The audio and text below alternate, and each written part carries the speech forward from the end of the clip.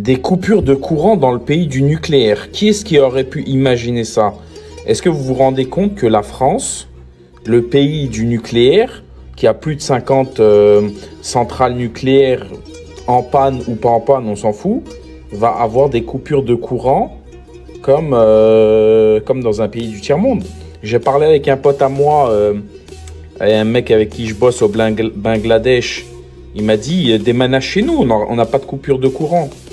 Donc en fait, ça veut dire que là, on est... Euh, là, je sais pas si vous vous rendez compte de l'image catastrophique que ça renvoie pour le monde, qu'un pays industrialisé comme la France, euh, qui, qui, possède euh, X réacteurs nucléaires, va tomber en panne de courant.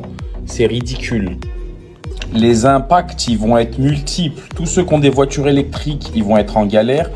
Tout ce qui est euh, les, euh, hôpitaux, ils vont être en galère. Tout ce qui est euh, ascenseur, digicode, téléphone, internet, télétravail.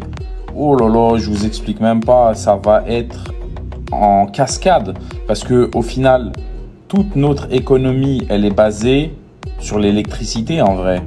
Google, ils ont carrément sorti une section exprès crise énergétique. Je suis choqué. Regardez, regardez les volumes, ils ont explosé sur la requête crise énergétique.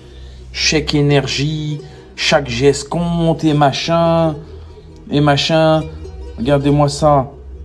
Télétravail, apparemment c'est dans toute l'Europe, c'est choquant. Regardez un autre truc. Regardez les volumes de recherche sur les, les groupes électrogènes. Regardez, c'est impressionnant.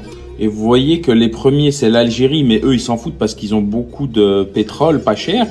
Donc en fait, ils convertissent leur pétrole pas cher en électricité. Juste après, c'est la France. Après le Maroc, Tunisie, Chine, et je crois que c'est Haïti.